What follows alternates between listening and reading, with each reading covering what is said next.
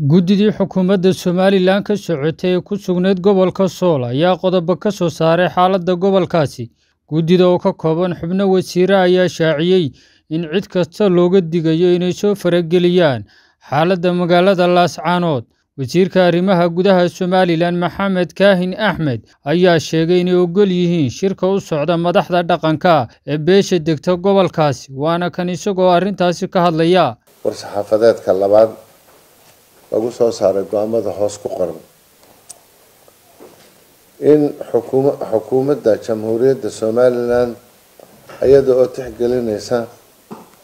mabaadiideeda oo buddhigu tahay wada tashiga wada xaajoodka isla mar ahaantaasna aanu tixgelinayno war-saxaafadeedkii hore aanu soo saarnay kuna taariikhaysnaa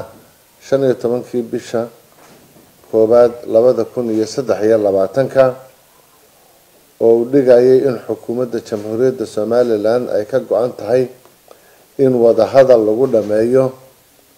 wax kasta oo tabasho ah oo ka jira gobolka sool. Sidaas darteed xukuumadda jamhuuriyadda somalilan waxay soo dhaweyneysaa shir kasta oo dhaqan ay beeshu qabsanayaan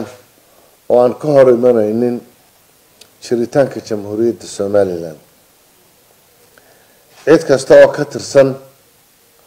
maamul kale dowlad kale ururo kale oo siyaasadeed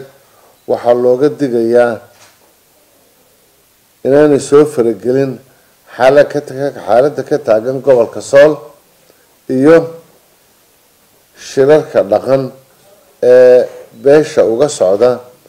magaalo madaxda gobolka sool ee laascaano